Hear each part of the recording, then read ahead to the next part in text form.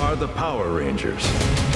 Me and my brother used to play Power Rangers growing up. Like, I don't even remember the shows. I just remember wanting to be a Power Ranger and playing Power Rangers, you know?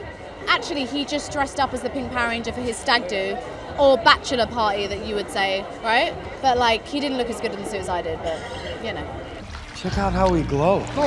Oh, yeah. I like this. Listen, there's a huge universe to draw from. I mean, the show has been on the air for 24 years. I think what we did is we kind of asked ourselves a question if if we made the Breakfast Club today, what would the issues be? This movie, the message is, is everything, and it's about diversity and it's about unity. Uh, and what I'm very proud of is that we've tried to take this and make it a universe unto itself. This is your time.